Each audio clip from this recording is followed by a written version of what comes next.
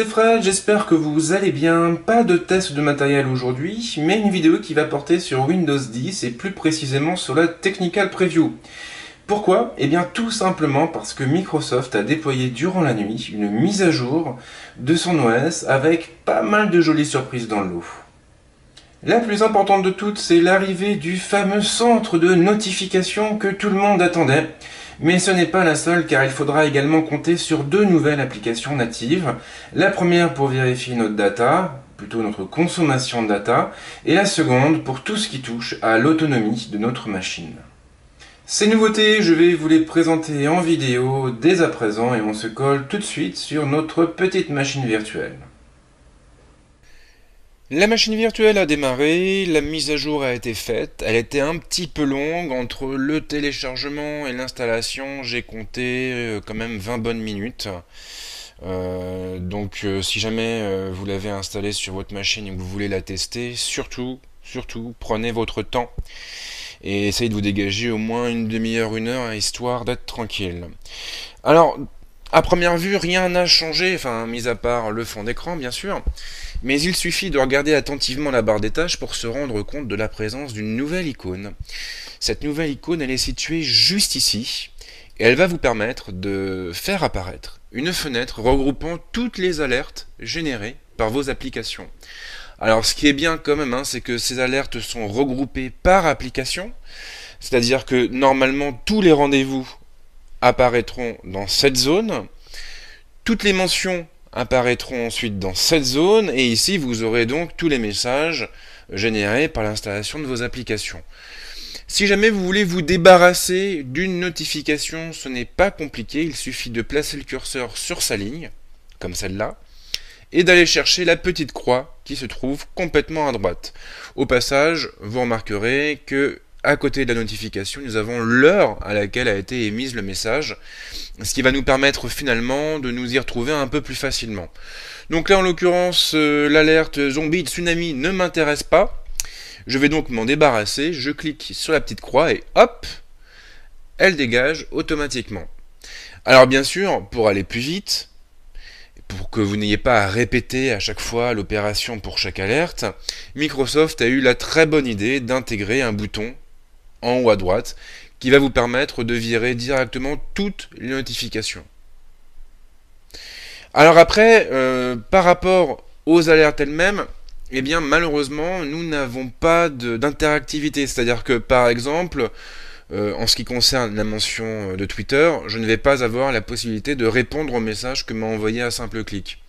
De la même manière, ici, euh, j'aurais bien aimé pouvoir euh, déclencher un nouveau rappel dans un quart d'heure, par exemple, et ce ne sera pas possible, malheureusement, puisque Microsoft n'a pas encore implémenté les commandes adéquates. En l'occurrence, la seule chose, la seule chose pardon, que vous allez pouvoir faire, ça va être de cliquer sur la notification pour afficher euh, le message et l'outil associé. c'est déjà pas mal, certes, mais c'est vrai que pour l'instant, c'est quand même relativement simpliste. Ce qui est très intéressant en revanche, c'est que on va aussi pouvoir euh, désactiver les notifications pour une période donnée. Pour ce faire, il suffit d'effectuer un clic droit sur l'icône présente dans la barre des tâches et là vous allez trouver une option qui s'appelle Hide Notifications for avec évidemment des options associées. Vous avez 1 heure, 3 heures ou 8 heures et vous allez donc pouvoir faire disparaître ou plutôt vous allez pouvoir désactiver le centre de notification durant ces périodes. Donc ça c'est quand même très pratique quand on doit se concentrer sur une tâche et qu'on n'a pas envie d'être dérangé. Alors en marge, Microsoft a eu la très bonne idée d'intégrer deux nouveaux outils qui vont intéresser les plus nomades d'entre vous. Des outils qui se trouvent dans les paramètres du PC. Et là, dans la partie de gauche, vous allez trouver deux nouvelles options. La première s'appelle DataSense et la seconde Battery Saver. Donc la première, euh, pas de grosse surprise, elle vous affiche tout simplement votre consommation de data. Alors ce qui est bien évidemment, c'est qu'on va pouvoir explorer notre consommation euh, jour par jour, semaine par semaine, et puis aussi dissocier ce qui touche au Wi-Fi et ce qui touche au domaine du domaine cellulaire. Alors là bien sûr, euh, j'ai fait la mise à jour aujourd'hui, ce matin, J'ai pas encore eu l'occasion vraiment de beaucoup utiliser ma machine virtuelle, donc là en termes de, en termes de données, on n'a pas grand chose. Hein. Apparemment, j'ai rien consommé ni en Wi-Fi ni en cellulaire du moins pas pour le 22 septembre. Après, bien sûr, si on veut plus de détails, on va pouvoir aller chercher euh, dans les menus avancés, on va accéder notamment à tout ce qui touche à, à l'utilisation, et puis après, on aura aussi une partie dédiée aux paramètres. Et là, on va pouvoir du coup euh, mettre en place des restrictions pour éviter euh, de bouffer notre forfait et puis de se retrouver après avec soit euh, un débit bridé, soit une surfacturation qui pourrait faire très très mal au portefeuille. Alors DataSense hein, est quand même relativement simpliste, il n'y a pas besoin d'être un ponte, d'être un génie pour l'utiliser. C'est ce qui fait là encore la force du système, on est quand même sur quelque chose qui est très accessible. Et finalement, l'outil fait, fait le principal et c'est tout ce qu'on lui demande. Ensuite, eh bien, nous avons le Battery Saver, ou en bon français, l'économiseur de batterie. Alors à quoi ça sert? Bah tout est dans le titre, hein. ça va vous permettre d'économiser de la batterie et donc de gagner en autonomie.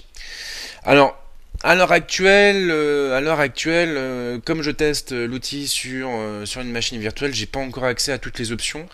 Et je pense aussi d'ailleurs que le module est en cours de développement, donc euh, là on est sur quelque chose de très minimaliste. En gros, tout ce que je peux faire pour l'instant, c'est d'activer l'économiseur, et ensuite, eh bien, il appliquera des règles automatiques pour préserver l'autonomie de ma machine.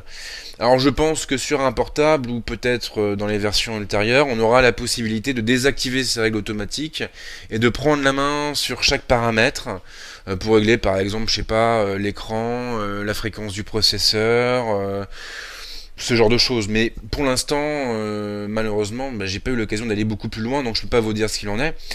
Mais ce qui est sûr, c'est que là, on est vraiment sur des fonctions qui s'adressent aux, gens qui, bossent sur ordinateur portable ou sur machine hybride. Si vous avez un poste, fixe, vous n'aurez pas non plus l'utilité de ces, de ces fonctions-là. Que peut-on dire au sujet de ces nouveautés? Alors déjà, pour le centre de notification, c'est vrai, euh, il ne pousse pas le concept très loin. Euh, il se contente des fonctions de base. Maintenant, la bonne nouvelle, c'est que les choses vont beaucoup évoluer au fil des versions et Microsoft a bien insisté sur le fait que le centre de notification a été cassé premier balbutiement. Il faut s'attendre à une nouvelle interface et surtout à davantage de fonctionnalités dans les semaines à venir. Les applications ne s'adressent pas à tout le monde. Alors sur un ordinateur fixe connecté à la box familiale, c'est clair qu'elles n'ont que peu d'intérêt.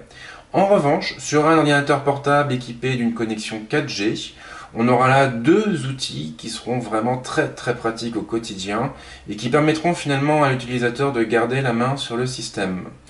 En gros, donc pour conclure, il y a du bon, il y a du moins bon, mais mais mais au moins ça bouge et ça c'est quand même très positif.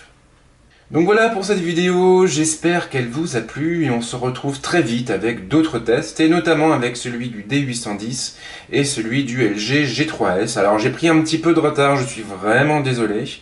Euh, ces derniers jours ont été assez mouvementés, mais je ne vous ai pas oublié et normalement le contenu devrait tomber à partir de la semaine prochaine. Donc on se retrouve très très vite et moi je vous dis à bientôt soit sur la chaîne YouTube, soit sur la Zone.